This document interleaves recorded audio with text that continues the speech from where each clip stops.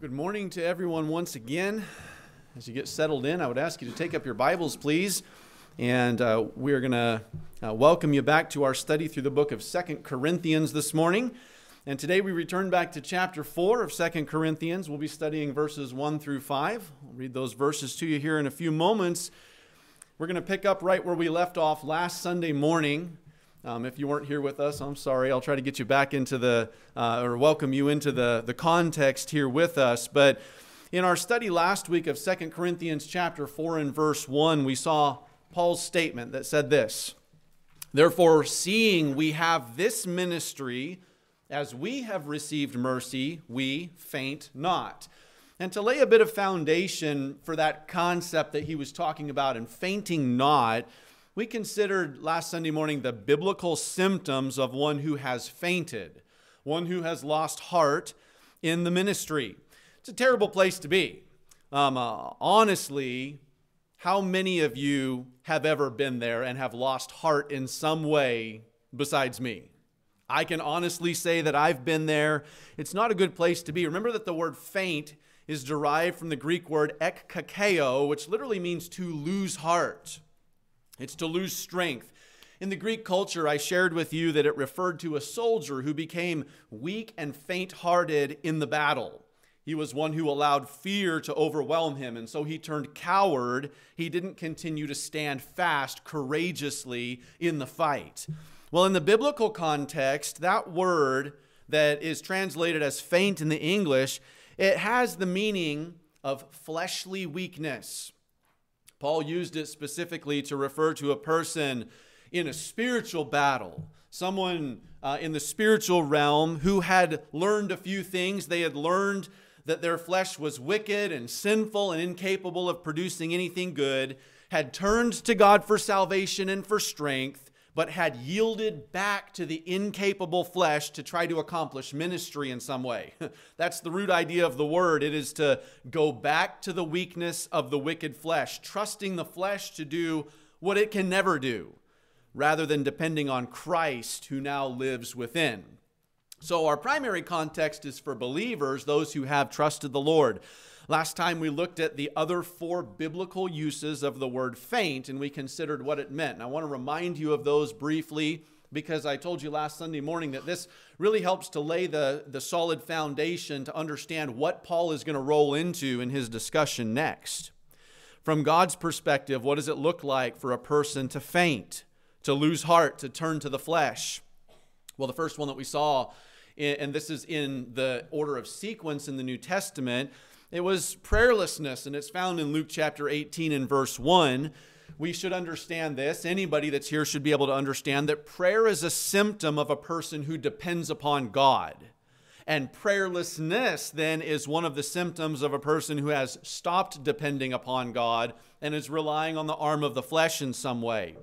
When life overwhelms people and they get their eyes off of Christ, they often try to turn back to trying to figure out everything for themselves, and they try to come up with solutions without depending upon the Lord.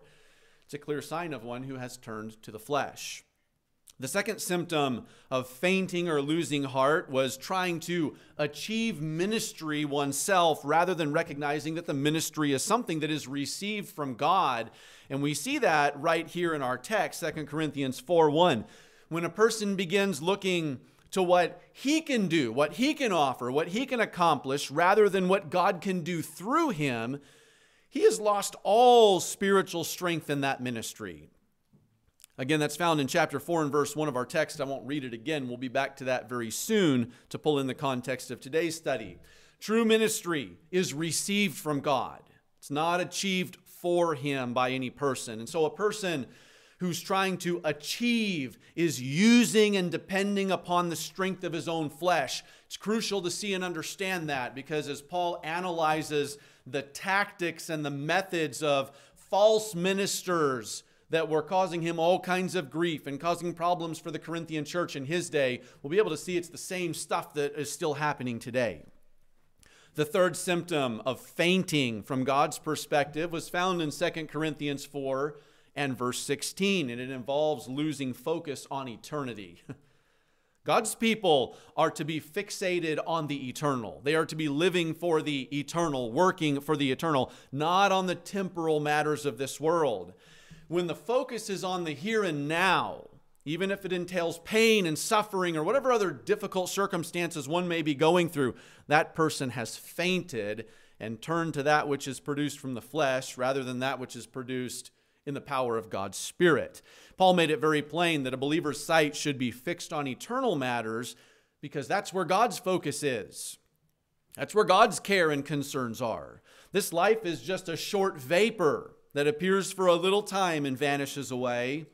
If Christ is living through us because we've submitted ourselves to Him, then we'll focus on what He's focused upon and anything short of that involves laying aside his spiritual strength and trying to operate in the flesh and yielding to the flesh.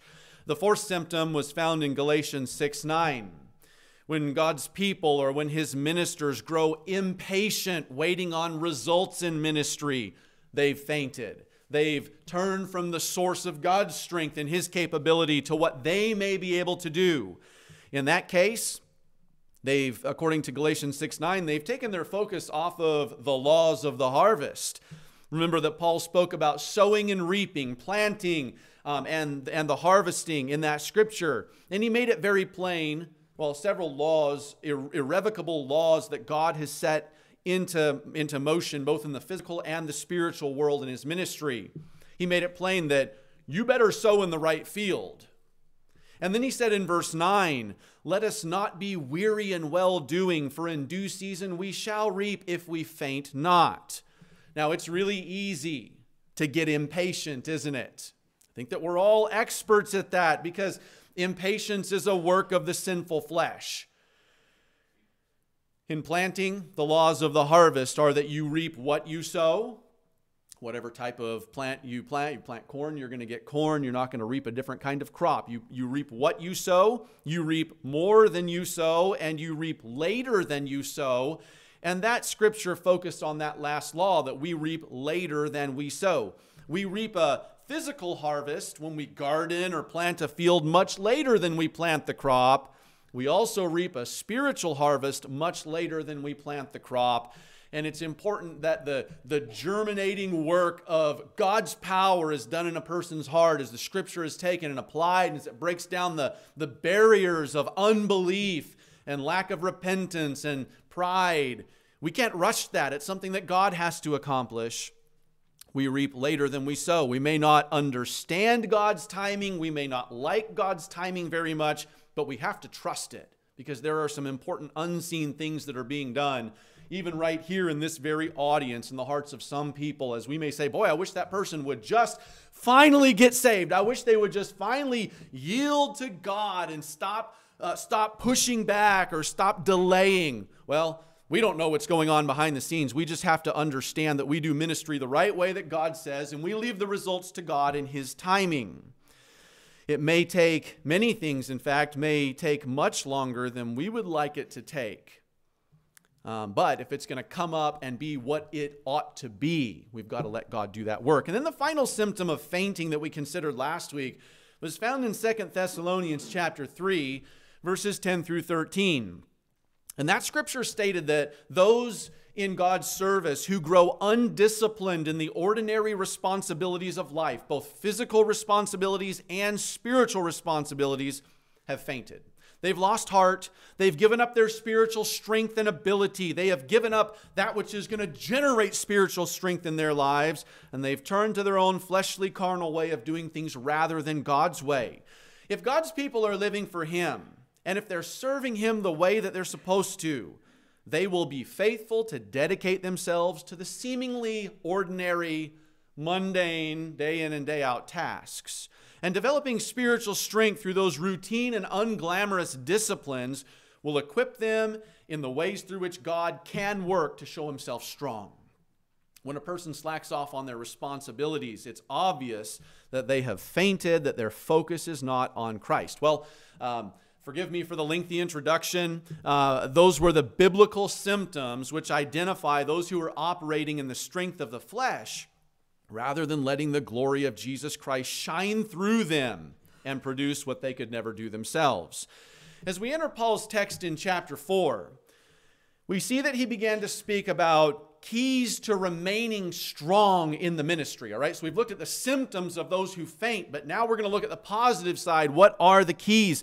After describing uh, what was seen in the false teachers that Paul was contrasting himself against, now he said these encouraging words that I mentioned a moment ago. Therefore, seeing we have this ministry, as we have received mercy, we faint not. And when that's put in context with what Paul had been teaching in the whole flow of thought in this book, since he was a servant of the New Testament, he wasn't going to lose heart and turn back to the way that he had been used to doing things.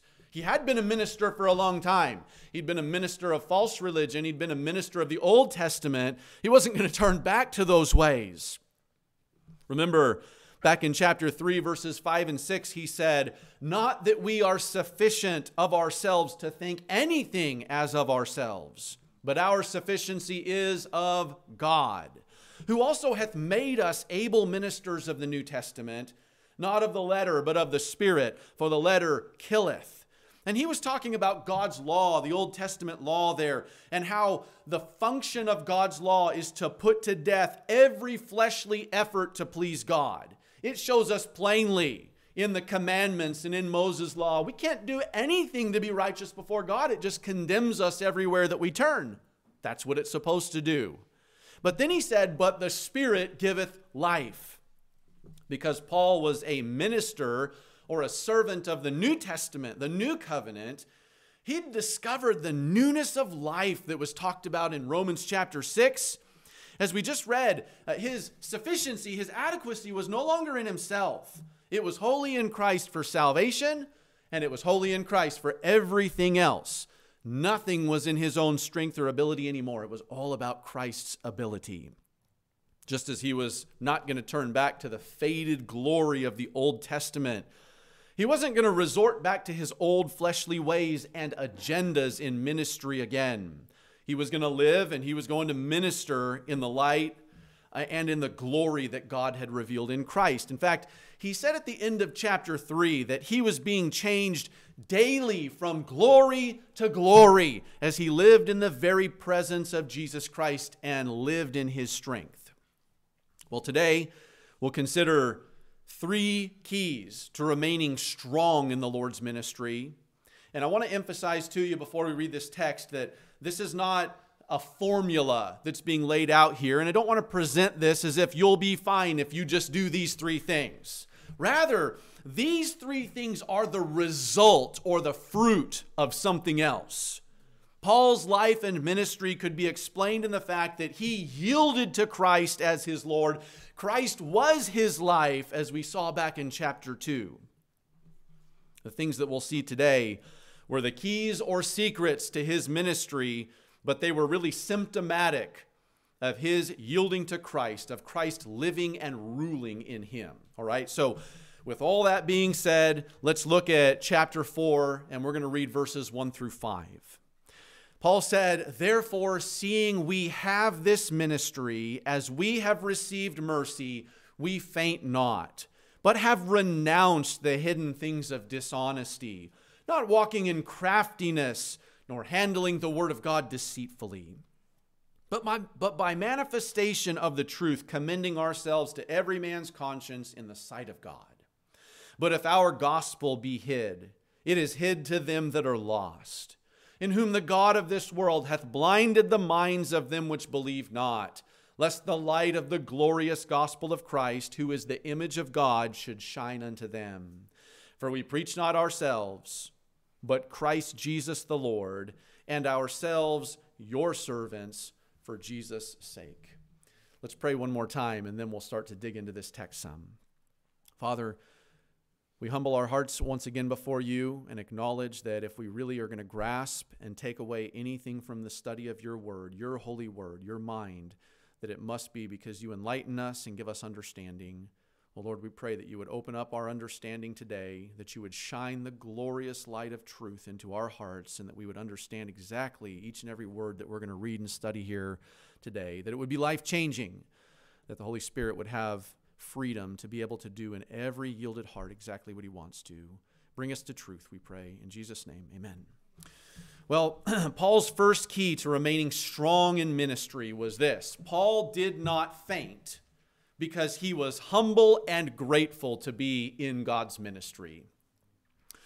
Unfortunately, some exhibit great spiritual pride in ministry today, and it's been the reality throughout all generations. That wasn't the case with Paul. You should remember that he had already said, Hey, we're not coming to you with a whole bag of letters of commendation from men, all these different credentials that people put stock in. I went to this Bible college, I studied under that preacher, I sat in that church. That's not what he did.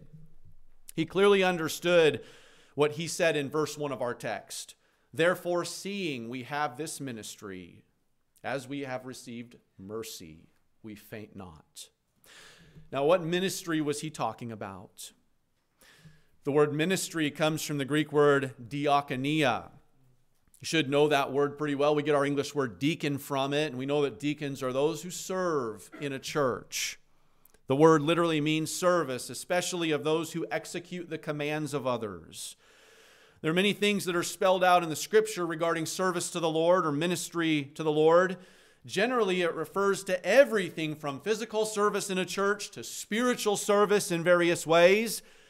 Paul was most certainly referring to the ministry of the New Testament that he'd referenced back in chapter 3 and verse 6, where he said that God had made him an able minister or a capable servant of the New Testament. That would especially entail proclaiming God's New Testament truth. But we have to go even further than that, and I'll mention a few other ways in which Paul had received a special ministry. Paul was called to some very specific ministry as an apostle. He's called the apostle to the Gentiles in Scripture. In Galatians, Paul stated that Peter was called by God to be the apostle to the Jewish world, that he had been called to be the apostle to the Gentile world. Uh, he was an apostle, that means an ambassador but he was also a preacher.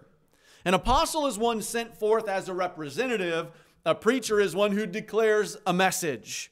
The message that he had to declare was the message of the New Testament, which all centered around Jesus Christ, his power to save, his power to change and transform lives. That was Paul's life.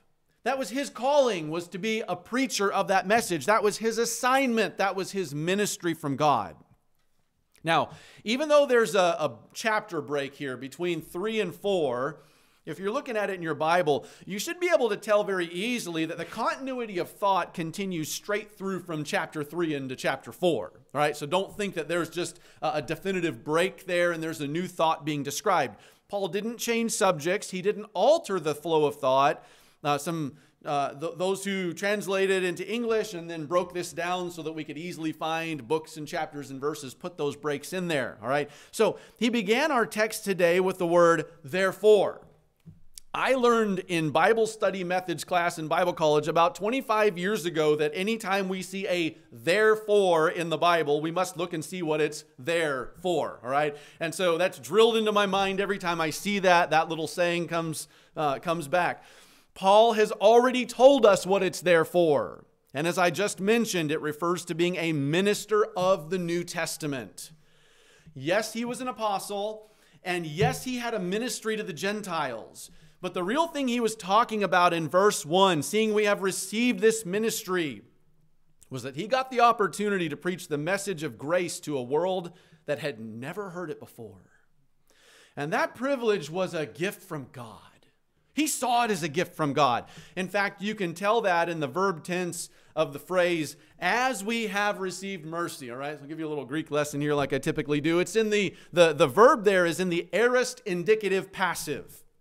The aorist tense in the Greek means that it occurred at a specific point in time and that its effects continued on indefinitely into the future. So there was a given point when Paul was given this ministry, and the power of it and the enabling of it continued. Particularly, we can note this as we study Scripture. At the time that God saved him, God had a specific purpose for him. God assigned him that privilege. The indicative mood means that it is absolutely sure and reliable. unshakable. It's not going to change. God had dictated this is the way that, that it is. This is my desire for your life. This is what I want you to do. The passive voice is interesting. It means that somebody else initiated the action. He was just the, bene- the benefactor of it, he was the recipient of that action. God had done the action. Paul didn't initiate the ministry. He didn't come up with the ministry, he didn't choose it as a career field or a job. He didn't initiate it. God initiated it into his life and directed him in that. Now, the word mercy was added to the equation, which emphasizes further that Paul hadn't sought out God to be saved. God sought him out. God found him. God humbled him on that Damascus road. Paul also hadn't sought out or manufactured the ministry that he was serving in. God gave him this ministry. It was God's ministry. The word mercy is one of the most powerful words in the English language, and I wouldn't have you skip over it quickly without giving it a little bit of thought. It means that God literally withheld the judgment that Paul was due. He understood that. He mentioned it in this verse. Judgment was deserved, but salvation and forgiveness were given to his soul instead. Judgment was deserved, but ministry and purpose were given to his life while he was walking on this earth. Now, for whatever reason, many people don't see this. They still think that they can do something for God, they can offer something for God. And they don't understand that not only does salvation come from God, ministry comes only from God. Both are totally undeserved. We don't deserve to serve the Lord even. Paul's salvation, Paul's ministry, Paul's message were all given by the grace and the mercy of God. He understood that. And folks, it was the key to remaining strong. Because when one realizes that God gives it all, that person will understand that what God initiates by his strength and ability and purpose, God sustains by his strength and his ability as well. The person who understands that isn't going to faint when they're in the battle. They're not going to turn back to fleshly ways if they truly understand that God is the one who's giving the power to accomplish ministry. And here's what it does it begins to frame a profound heart of gratitude in any person who really understands it. That's what we see in Paul a humble understanding that though his ministry was not of himself and though uh, and that though he deserved nothing but God's judgment God kindly and mercifully saw fit to work through him as a vessel to accommodate his work. Paul's mention of the mercy of God in connection with his ministry shows that he had a deep appreciation. It was a privilege for him to do what he did. The fact that his ministry was preaching the good news of the New Testament, which had transformed his own life, produced this gratitude in his heart. And I would just have you to think about it for a minute. this hard bitten, hard hearted, hateful, murderous old legalist changed and was used to preach the message of grace alone all around the world. you can almost envision the, the council of God in, in heaven saying, We need somebody to preach the good news about Jesus Christ to the world.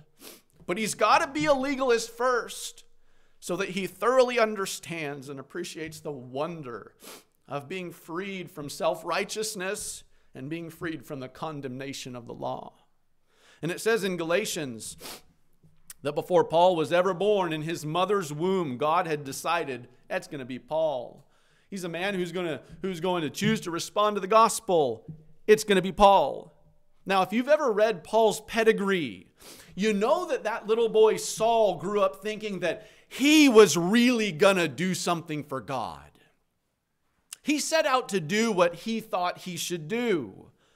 And he destroyed everything and everyone in the process.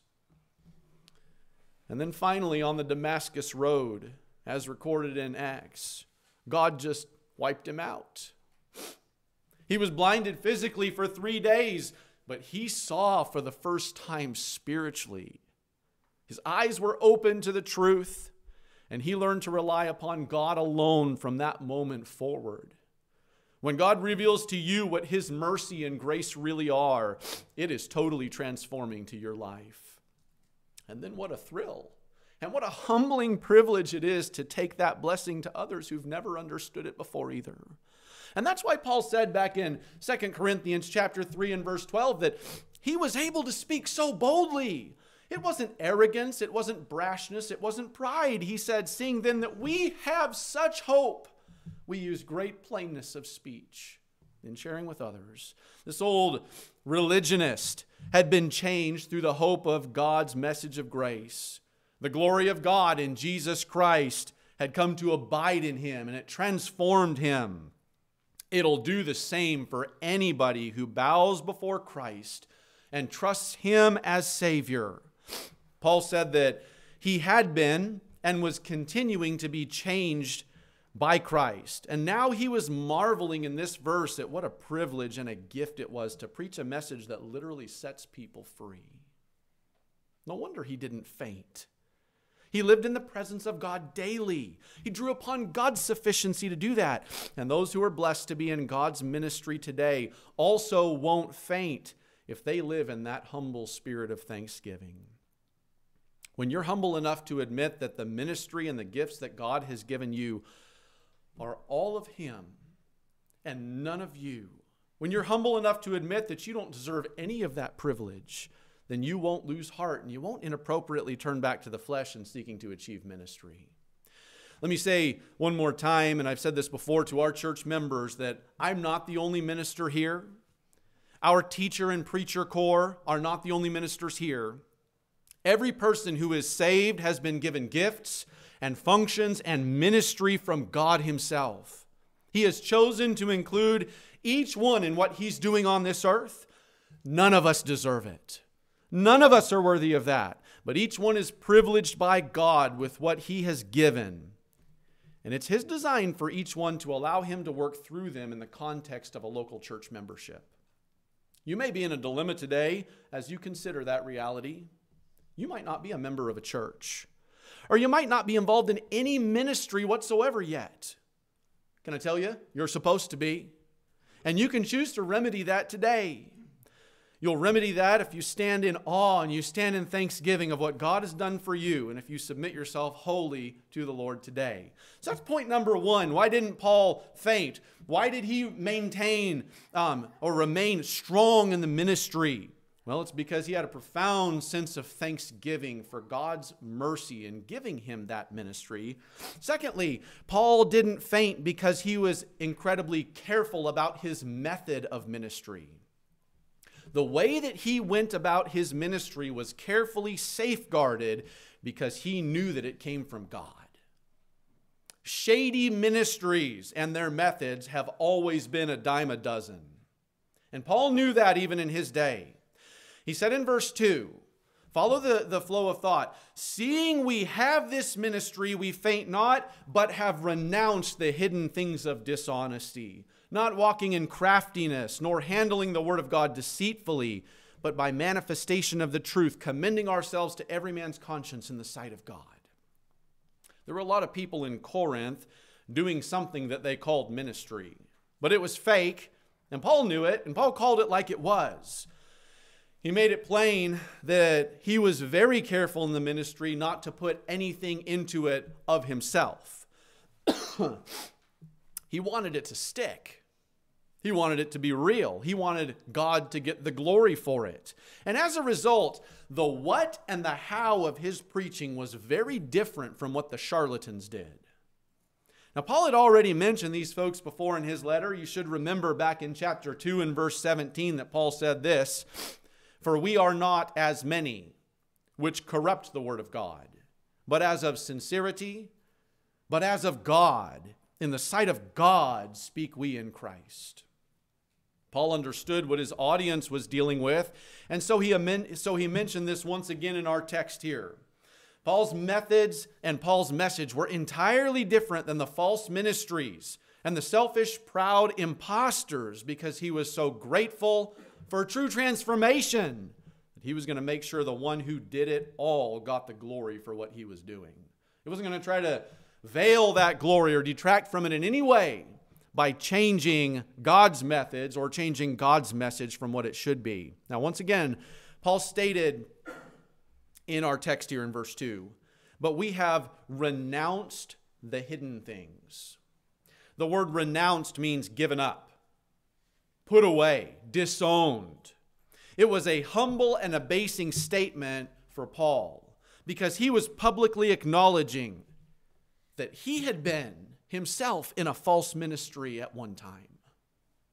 But because of what God had done in his life, he'd put that man made religion and ministry away, and he was publicly speaking out about having disowned it and having embraced God's truth. Paul didn't incorporate any of those methods anymore. For many in what they call ministry, it's all about them, it's man centered, it's about their way, it's about their ideas, it's about their philosophy, it's about their agendas, it's about their twist on the Bible. How many times do we hear those kind of things as we converse with people in the community? Paul made it plain that he didn't practice those methods or those tactics anymore. Verse 2 is really enlightening in illustrating the deceptive and the dishonest methods and message that false religion uses. He spoke about the hidden things of dishonesty which lurk behind false ministry. That is, they were not right up front about things in their ministry. They were not plain about things in their ministry. Many things were hidden in their ministry. It was not, remember verse uh, chapter 3, it was not with the great plainness of speech that Paul had spoken about. Paul defined this further in verse 2 of our text when he said that we've put away the hidden things of dishonesty, not walking in craftiness. The word craftiness comes from the Greek word panourgia, and it means cunning, it means shrewd, crafty. Many predators in the animal kingdom around the world exhibit these same types of traits that he was referencing here. If you observe many of the predator species, most of them will observe and locate and circle their prey during daytime hours, but they'll stay a good ways off.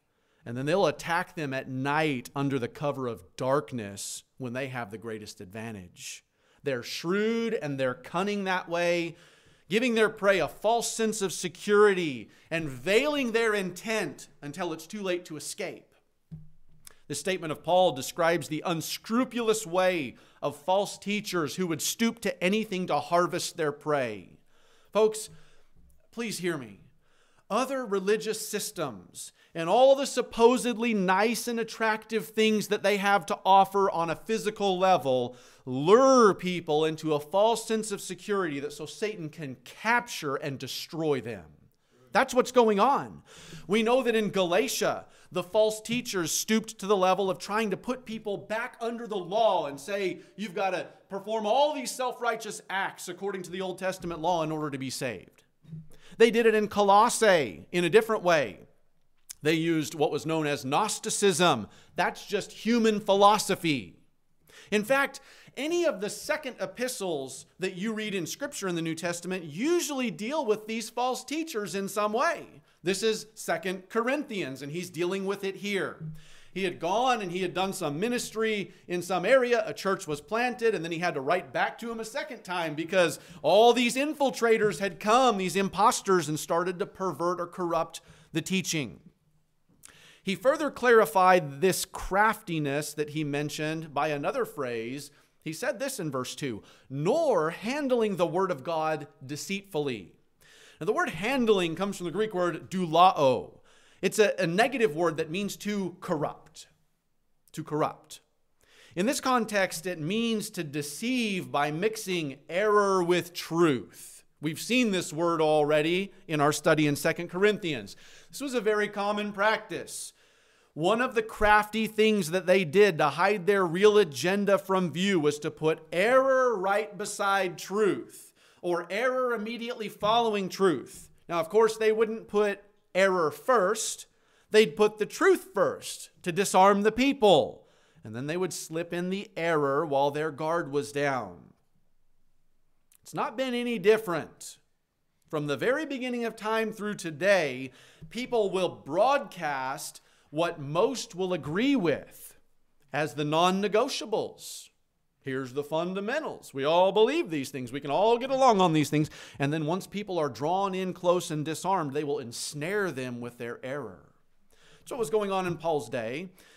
Listen to what Peter had to say about this very tactic in his second epistle which deals with false teachers 2 peter chapter 2 verses 1 through 3 he said this but there were false prophets also among the people among the people even as there shall be false teachers among you who privily that is secretly shall bring in damnable heresies even denying the lord that bought them and bring upon themselves swift destruction and many shall follow their pernicious ways by reason of whom the way of truth shall be evil spoken of. And through covetousness shall they with feigned words make merchandise of you, whose judgment now of a long time lingereth not, and their damnation slumbereth not. I don't have time to break all that down, folks. There's some amazing things that are stated there. But in the phrase, and through covetousness shall they with feigned words make merchandise of you, that little word feigned is very interesting and it goes along with what we're studying. The word feigned comes from the Greek word plastos. We get our word plastic from that. Now, if you heat plastic up, you can mold it into whatever shape you want it to be. It's very malleable. Do you know how false teachers do that? they heat up a crowd by getting them emotionally charged. Once a crowd is heated up, a speaker can say almost anything he wants to say. He can change the meaning of words. He can get people to believe whatever he believes, no matter how outlandish it may be. Why? Well, here's why because people don't understand doctrine with their emotions, which are of the flesh. They perceive sound doctrine and false doctrine and are able to discern between those with their minds, which are renewed and strengthened by the Word of God. A false teacher who appeals to the emotions can change the meaning of God's word and manipulate an emotional crowd in a terrifying way. We know this even from secular history, looking at some of the great orators of history that were able to, to bring their people to do atrocious things, unthinkable things, because of their great oratory abilities to stir the people's emotions.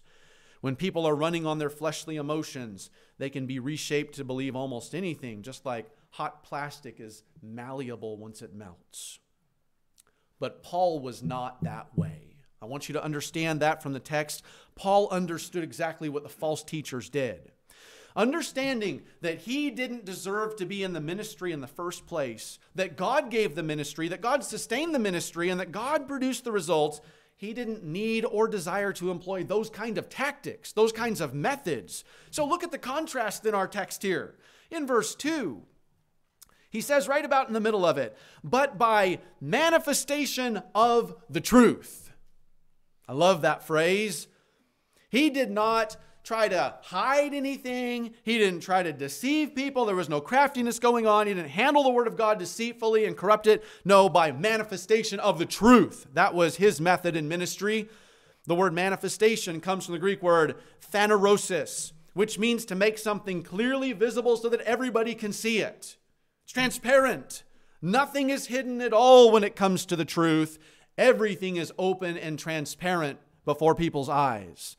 Now, Paul's manner of preaching the message of the New Testament was so open, so honest, and so clear that everybody knew what he was saying right up front.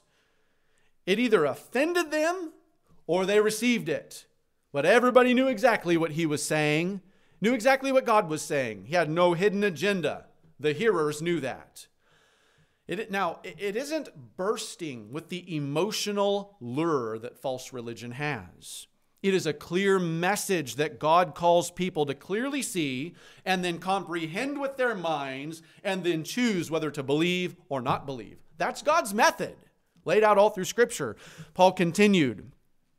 He said, But by manifestation of the truth, commending ourselves to every man's conscience. And we know from the context already that Paul was not commending himself in the sense that we would typically think of it when we consider that word. The word commending comes from a Greek word that refers to placing two things together, joining two things together. And in this case, he's talking about himself and the truth, himself and his workers, his fellow missionaries, and the truth. God had mercifully brought him to the truth, it was able to flow through him to every man that he spoke to. Paul said that his methods of delivering God's truth was so open, so honest, so transparent, that it was committed to the verdict of every man's conscience. You see, where the false teachers appealed to the flesh of men, Paul appealed to the conscience of men that can discern spiritual truth once it's informed by God's word. And the reason that he did this the, the reason that he did this is that the most important audience that Paul knew that he had was God himself. And so he said he did this in our text in the sight of God. Paul knew that every single time he spoke, he was speaking in the presence of God. God held him accountable, God was viewing, Christ's glory resided in him. Now, if you're a, a, teacher, if you're a preacher, if you're an evangelist, if you're one who's going to share God's truth in any way, you have to grasp this. I'm learning this still. Um, I've been learning it for many years. When I first began to preach, I could barely claw my way through a few torturous minutes before the sweet relief of getting off the platform and out from under the scrutiny of the audience. Why? I was nervous. I was self conscious. I was without any confidence because of my flesh. In my flesh, I was mindful of the human audience. That's what I was focused on. To this day, I can tell you that anytime I have my mind fixed on my flesh or on the responses of other fleshly people, I still struggle in preaching. I still struggle in sharing the truth. But if I properly remember that God is in this place, that God is overwatching everything, then it doesn't bother me one bit. As long as I'm carefully and properly handling God's word and its purity and its transparency and delivering it, if I'm speaking in front of one person or 10 people or 100 people or 1,000 people, I know this. I'm not just speaking to you as an audience, I'm speaking to Him as an audience. And I can boldly proclaim God's word and I can trust that it's going to do its work in power in the heart of every single person that's listening. James said this that anybody who takes up the word of God as a teacher or a preacher will stand in greater condemnation, will stand in greater judgment one day for whether he accurately handled it. Paul understood that. How can there be a hidden agenda or hidden motives when one realizes that he's standing in the presence of God? There won't be. God's presence will keep him accountable. It'll be evident whether he's walking in the flesh with his own agenda or if he's walking in the light of Christ's presence with transparency from the scriptures. Now, this, this is the primary reason why I always promote what we call expositional preaching or teaching in this church ministry. Taking the Word of God and just clearly expositing it the way that we do, word by word and line by line it keeps all of the motives, all of the soapboxes out of the preaching, and just let God speak plainly His truth. Commends it to people's consciences so that they can be informed and they can make a decision. And I watch it every single time I preach. There are people that sit here and they make a decision. They either make a decision to reject the truth and go on in their blase complacency about spiritual matters or to receive it.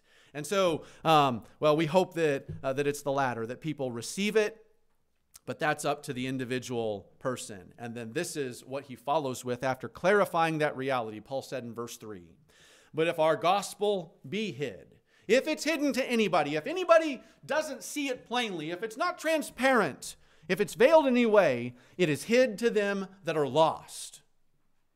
Paul's message was so clear and it was such a manifestation of truth that though some people would not accept it, it wouldn't be because of his preaching.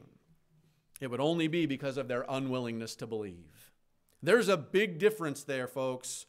There was one old preacher who put it this way in a homiletics class as he taught other younger preachers. He said, God will not judge you for how people respond to his message, He will judge you for how you set the table. So you better get before Him, get in the Word, and understand that when you stand up and preach, you are preaching in the presence of God. That's what Paul was talking about here. The message was presented in such a way that it was clear and understandable coming from God Himself. And if there was a veil that blinded any person in any way, it wasn't because of the preaching. Now, he had said earlier that the veil was there upon the minds of many when God's word was delivered. Remember that? He said it very succinctly in chapter 2 and verses 15 and 16. He said, For we are unto God a sweet savor of Christ. That is, those who were properly preaching and delivering God's word. A sweet savor of Christ in them that are saved and in them that perish. Those are the two decisions. To the one, we are the savor of death unto death, and to the other, the savor of life unto life. And who is sufficient for these things? That is, Paul was not able to make the decision for his audience. He could just ensure that he presented clearly so that God's powerful word could convict their consciences and bring them to a decision point. He continued on in verse 4 of our text, speaking of those who were lost, those who were unwilling to believe, those who willingly put the veil over their faces so they couldn't see and respond to the glorious message that was being delivered, in whom the God of this world hath blinded the minds of them that believe not, lest the light of the glorious gospel of Christ, who is the image of God, should shine unto them. Can I plead with you in this way today?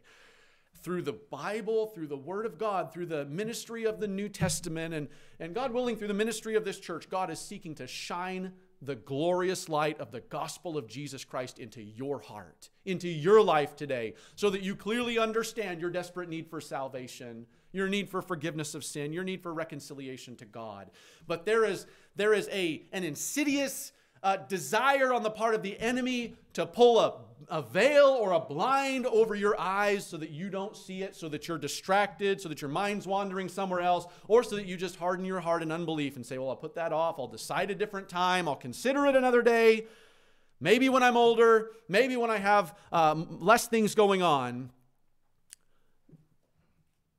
That is the God of this world who is seeking to do that. And if you are responding to Him instead of responding to the true God Himself, uh, then it results in disaster. But I would have you note here in verse 4, because in the, in the true context, Paul was talking about himself and the actions in presenting the gospel plainly, that he didn't put the veil there. Paul didn't do that. His intent was to make the truth plain. There was no hidden, uh, hidden hooks that he was trying to get in here, he was making it plain. Somebody else had put the veil over their eyes.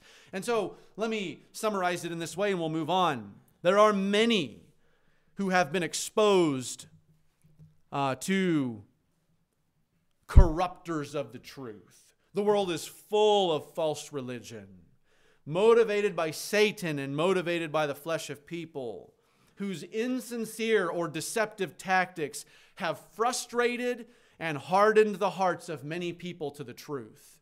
It's a tragic thing. Many people have been exposed to those kind of corruptors. They have seen the shenanigans. They have seen the obvious deceit. They've seen the insincerity. They've seen the hypocrisy of it. How many times do we hear people say things like, well, you know, I went to church one time, but it's just full of hypocrites, and so I don't want to have anything to do with that? That's the kind of stuff that we're talking about. I'm not saying there's any validity to those kind of excuses. They're fairly silly, but the, but, but the reality is there are many whose hearts have been hardened, have been blinded because they've seen this type of uh, this type of spiritual gamesmanship that has gone on that's not true. And so now, as the glorious light of the gospel is presented to people's hearts, they will continue to reject the truth as a result. Their minds have been blinded, and now when true ministers attempt to shine the gospel into their lives, they won't consider it. Now, there may be other reasons yet, other than just hypocritical church ministries and things, but the world has been tragically blinded by Satan and his fa- false prophets in so many ways. But here's the key Paul remained strong in God's ministry. He kept from fainting by humble gratefulness for the ministry God had entrusted to him. It wasn't a drudgery, folks. It wasn't a job. It was an awesome privilege that he didn't deserve. And that gratefulness then caused him to be careful in the manner in which he conducted that ministry because he was up against many others who were doing it in a fleshly way. And finally, Number three, Paul did not faint because he was humble about his message. He was humble about his message. And verse 5 says this For we preach not ourselves, but Christ Jesus the Lord, and ourselves your servants for Jesus' sake. Paul was not in love with himself. He didn't have the disease that some preachers have when they stand in front of a mirror and seeing How great thou art, to themselves or to other preachers and their ministries. Paul didn't think of himself more highly than he ought to think. He knew exactly who he was. He knew exactly what he was. The fact that Paul had received the ministry from Christ, that he didn't deserve it, and that he saw all these false ministries with all their false motivations around him that were corrupting people, it just caused him to be incredibly humble about the message that he had received.